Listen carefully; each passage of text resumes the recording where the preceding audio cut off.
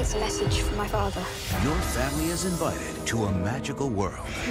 Why would my key fit your machine? There are things you're too young to understand. This Thanksgiving, You want to know. We have to figure it out.